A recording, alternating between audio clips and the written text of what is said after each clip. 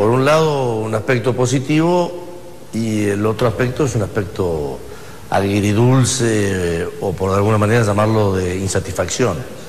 El aspecto positivo es la posibilidad que tuvimos todos los gobernadores de la Patagonia de expresarle al ministro Aranguri y al ministro Frigerio eh, lo que significa el impacto de las medidas que ha tomado el Enargas y el Ministerio de Energía eh, a partir del 1 de abril del año 2016 con la modificación de las tarifas de gas eh, en todos los aspectos de la Patagonia. Eh, lo cual fue una buena reunión de, diálogo, de escucharnos, de poder ellos explicar el porqué de la situación y nosotros los gobernadores explicar cuál es nuestro punto de vista, más, mejor dicho, cómo interpretamos nosotros lo que nos plantean eh, los, los, usuarios residenciales, los comerciantes, los industriales. Eh, lamentablemente las respuestas que, nos dio el gobierno no son las que necesitamos, eh, porque en el caso de los comerciantes mm. lo que se planteó fue dejar la tarifa como estaba, cobrando el 50% ahora, el otro 25% enero, abril del 2017 y el otro 25% enero-abril 2018. Y en el caso de los usuarios residenciales, lo que se nos planteó es fijar el incremento eh, tarifario del 400%. ¿Qué pasa con la persona que le llegó una factura de gas de 15 mil pesos? Eh, o 10 mil pesos, vamos a hacer un número redondo, le, llegó 10 mil pesos, ¿cómo hace para pagarla? Bueno, vamos a suponer que haya un comerciante que tenga 10 mil pesos, ¿no? Claro, eh, vamos a hacer al revés, yo tengo un hotel, un hotel en San Carlos de Bariloche, que le puede llegar ahora 60 mil pesos la factura de gas. Pagaría 30 mil ahora y después pagaría 15 mil en enero, abril del año que viene y otros 15 mil en enero-abril del año 2018. Eso, la lo que no se modifica es el costo. Claro, pero eso sería entonces la factura de este mes. Y el mes que viene, si le viene 60 mil pesos otra vez, ¿qué hace? Vuelve a pagar 30 mil. Oh, mío. Y los otros y el y los otros oh. los otros 30 mil. Y al final en el, verano va a terminar pagando va a terminar pagando lo que tendría que pagar ahora, porque si por eh, cada mes va a tener que sumar. Eh, exactamente. Claro, es medio, medio con el usuario y con el y con el usuario residencial es exactamente lo mismo, es decir, se fija un aumento tope del 400%.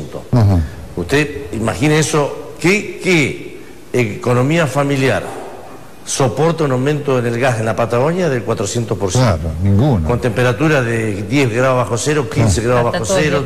Eh, es muy, muy, muy difícil de, poder este, asumir. Hay casos distintos. En el caso de la provincia de Santa Cruz, ya hay un juez federal que, eh, que, invalidó todo. Chubut también, en el caso de Chubut, esta mañana, un, juez federal ah. también este, eh, prohibió que se facture, pero aparte obligó a Camusi que devuelva lo que había cobrado. Ah, usted. En el caso de Río Negro tenemos amparos en distintas ah. localidades.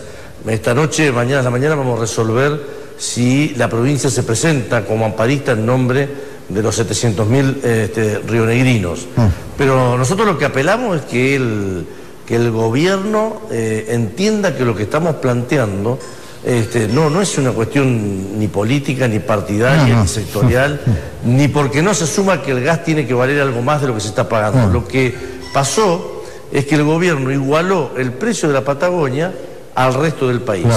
Y el precio de la Patagonia tenía valores muy diferentes a lo que era el resto del país antes. Era menor. Frente a la temporada que ya empieza en pocas semanas, por ejemplo en Bariloche, con plazas que imagino ya estarán reservadas a un costo que no contemplaba esto. ¿Qué va a pasar? Bueno, esperemos poder resolverlo rápidamente, porque si no, no vamos a tener temporada.